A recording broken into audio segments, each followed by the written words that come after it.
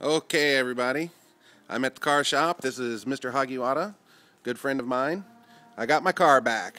There she is, the Honda Crossroad. He just got finished washing it, and she is ready to run. No more sitting in the sewing machine.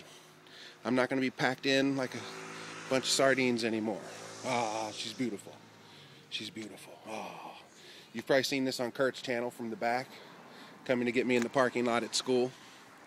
All right, this uh, Harley Davidson logo here is actually painted on the car. Um, when I I bought the car here, and this was a gift from him for buying my car here. And uh, this is the shop. If you need a, if you're in Shizuoka, oh, you can stay in there. If you're in Shizuoka and you're down in Yaizu and looking for a dependable used car, you can always come down here to Ichiichiya. Get the get the sign for you here. There goes the Shinkansen over there, talking about U2 bullet train.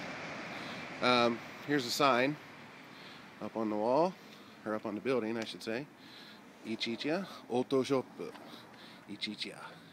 Now, uh, my friend Hagiwara here, he's a goddamn Steelers fan. Keep it clean. This is a family channel.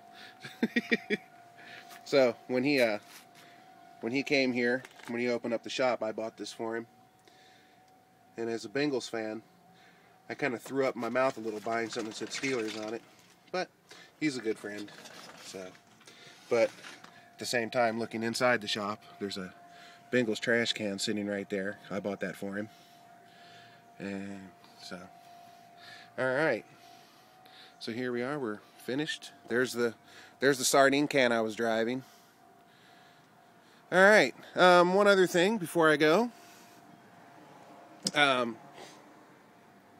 I need to thank uh, Kurt Softy Papa Bell for uh, all the support he's been giving me the past couple weeks on getting my channel going.